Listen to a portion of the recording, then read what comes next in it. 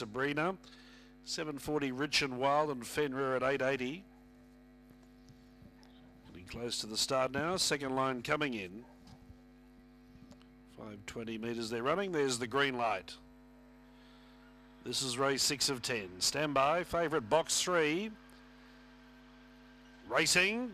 Caesar to come was reasonably well away, chasing outside of Unique Affair and Rich and Wild. But Unique Affair is going to have the necessary speed to keep them all out early. Leads from Rich and Wild. Going to third was Fenrir. Running through Shaylo Sam to fourth. Caesar to come back in fifth. Four to five off the lead. And then came uh, Unique Ghosty and So Sabrina's a long way back. Coming to the turn. Unique Affair in front. The danger. Rich and Wild. Unique Affair in front. Rich and Wild tries hard. Unique Affair beat home Rich and Wild. Caesar Khan charged for third. Shayla Sam in fourth.